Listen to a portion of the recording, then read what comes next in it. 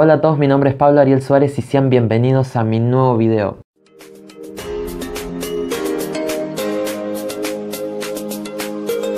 El día de hoy les voy a estar enseñando cómo hacer una leche condensada casera solamente con tres ingredientes. Agua, azúcar y leche en polvo. Y ahora sí, comencemos. Bueno, vamos a comenzar con el paso 1 que va a ser calentar la mitad de una taza de agua.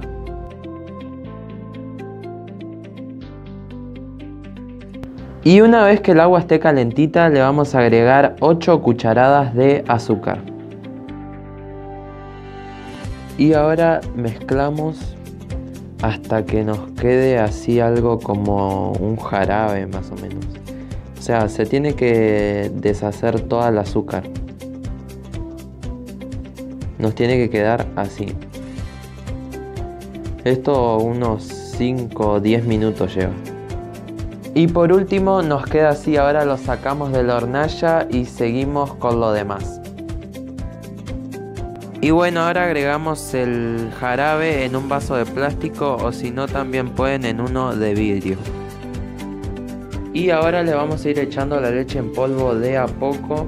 Ahí les aviso que si les queda eh, medio pesada la leche condensada, eh, vayan echándole de a poco cucharaditas de agua caliente y vayan mezclando también.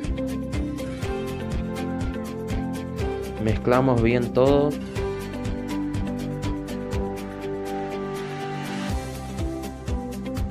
Y ahora la metemos a la heladera por dos horas. Bueno gente, ya pasaron dos horas y así nos quedó la leche condensada. Miren. Ahí les quería dar un dato que si les queda esto duro, porque me pasó, estaba duro, duro esto, échenle agua tibia hasta que les quede esta textura así. Que no va a pasar nada, no, no pasa nada. O sea, no se preocupen si les pasa eso. Y bueno, ahora voy a probar eh, a ver cómo quedó el gustito. Mm. Tiene el mismo gusto. Es dulce, dulce, dulce como la que compramos en los mercados. Y esta vende una lata de leche condensada. Y como no tengo nada en que usar la leche condensada, dije voy a inventar un postre. Bueno, pero lo del postre lo voy a dejar para un video que lo voy a grabar ahora, pero lo voy a subir después de este. igual yo voy a estar subiendo la miniatura a mis redes sociales que se las voy a estar dejando por acá.